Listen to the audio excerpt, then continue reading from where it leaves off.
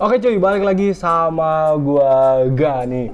Akhirnya selesai sudah semua ini ya. Upgrade PC, rakit PC keluarga ini alhamdulillah kelar.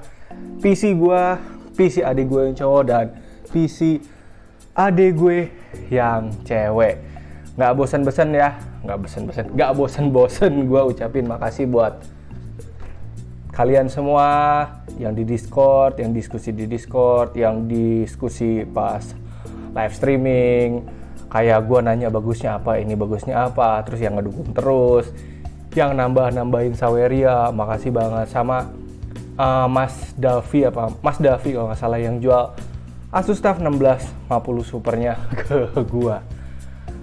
Kalau nggak ada teman-teman ya mungkin upgrade 3 PC ini tidak akan terlaksana kali ya. Oke ya, jadi uh, semakasih itu teman-teman ya. Oke, di video kali ini uh, paling gue cuma nunjukin kayak preview sama time lapse aja.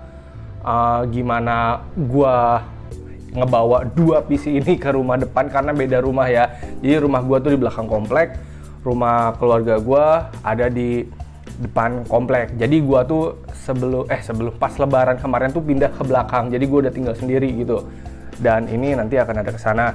Jadi paling time lapse-nya itu kayak uh, pertama ini gue masangin ke meja gue time lapse-nya terus kayak packing dua ini beserta atributnya yang di sini sama ini terus nanti kita angkut ke rumah depan sama time lapse dipasang ya di kamar masing-masing adik guanya. Sama preview yang kemarin gua tampilin lagi aja deh ya.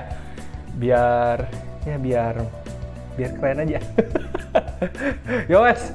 Teman-teman uh, abis ini kayaknya kita masang ini dulu ya. Masang ini dulu baru packing yang ini. Untuk komponen yang gua udah gua taruh di studio lagi ya. Kemarin kan sempat diganti sama komponen yang lain uh, komponen rakit PC cuy yang dipajang sekarang yang dipajang komponen gua lagi.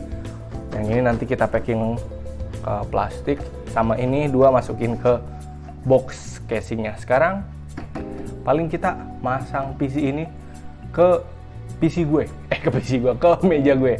Nanti endingnya ada previewnya juga semuanya ya. Preview pada saat di studio sama preview pada saat setelah jadi setelah di apa sih namanya di setup masing-masingnya ya. Ini di meja gue ini di kamar adik gue ini di kamar adik gue oke langsung aja ya